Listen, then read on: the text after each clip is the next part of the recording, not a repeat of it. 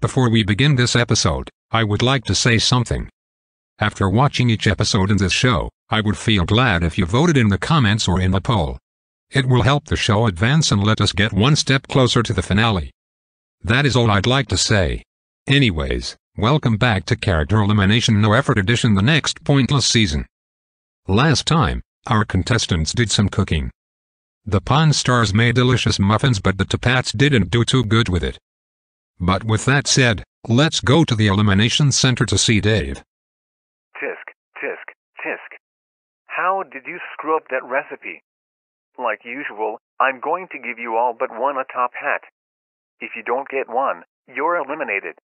Reginald, Eddie, Echo, Ellie, Birthday Boy Blam, and Anakin Skywalker are all safe at zero votes. And the last hat goes to.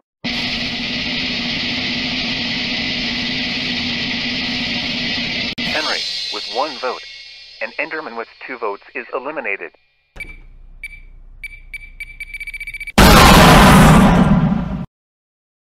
Sorry for the really graphic death scene. It wasn't really that graphic. Shut up. This is no effort land. Anyways, get out of here so we can start the next challenge. Alright, contestants, your next challenge is to break into that bank right over there. Hold on. What is there one? We got lazy. Anyways, the goal is to rob the bank and have more money left over by the time you leave the bank. The team with more money bags wins the challenge. Alright! Put the money in the bag!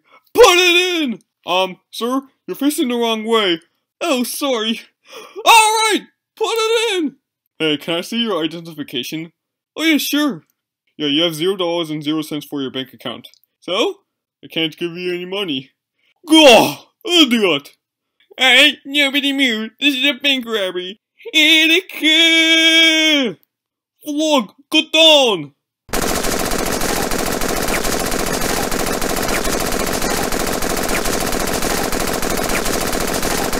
That was either than expected.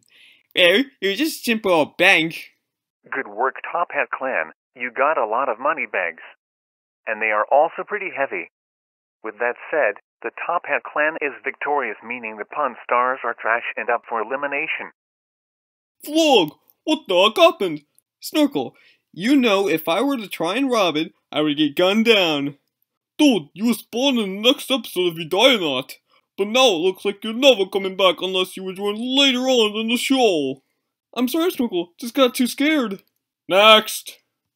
Hey Dave, how's it going? It's going good. We just finished up another challenge while you were gone. Alright, that is good. I have just finished constructing the building for the next episode. Would you be helpful in guiding these contestants to my next challenge? Yeah, I can do that. Anyways, I will take over from here. Okay guys, vote for a contestant on the Pawn Stars to get sent back to their homeland.